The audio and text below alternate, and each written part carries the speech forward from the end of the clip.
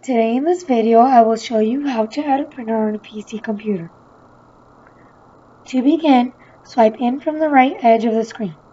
If you are using a mouse, then you can point to the lower right corner of the screen. Now move your mouse up to click on settings.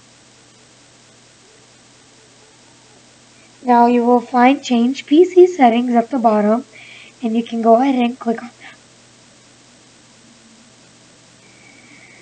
Now you can find PC and devices and tap or click on that. Now once you're at PC and devices, tap or click on devices.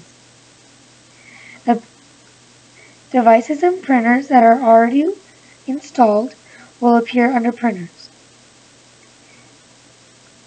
To add one, you can tap or click on add a device. Now you can select a printer from the drop down menu. This was my how-to tutorial video of how to add a printer on a PC computer. Thanks for watching. Goodbye.